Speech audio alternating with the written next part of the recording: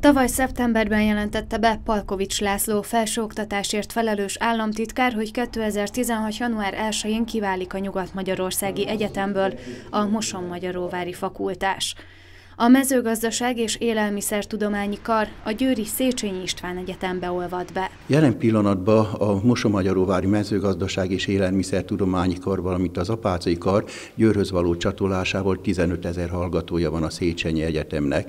A Széchenyi Egyetemnek a lehetőségei bővülnek, hisz szélesebb oktatási spektrumot tud biztosítani hallgatók számára, és várhatóan folyamatosan bővítjük mi is a szakoknak a számát, amely a képzési területünkhöz tartozik.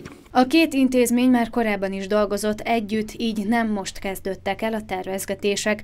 Akkor elsődleges célként tűzték ki a hallgatói létszám növelését. A februárban induló keresztfél éves képzésre 69 hallgató jelentkezett, ez a szám 20-25 százalékkal növekedett az elmúlt évekhez képest. Az idei évben is alap, mester és felsőoktatási szakképzéseket indít az egyetem, valamint megszervezik a szakirányú továbbképzéseket is.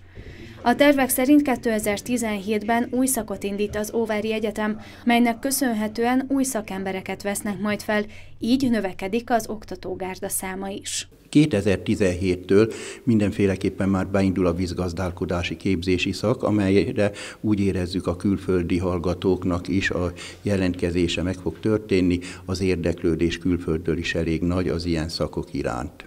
A fennakadások elkerülése miatt a hallgatók február 1-ével kerülnek hallgatói jogviszonyba a Széchenyi Egyetemmel, innentől a diplomákat is a Győri Intézmény állítja ki. Az átállás miatt változnak a telefonos és elektronikus elérhetőségek is. A Moson-Magyaróvári hallgatók február 8-ától már a Széchenyi István Egyetem Neptun rendszerébe tudnak belépni. Új formájában a Széchenyi István Egyetem mezőgazdaság és élelmiszertudományi kara január 13-án Győrben mutatkozik be, majd 21-e és 23-a között Budapesten az Edukáció Nemzetközi Oktatási Szakkiállításon. Moson Magyaróváron legközelebb január 29-én várják az érteklődőket.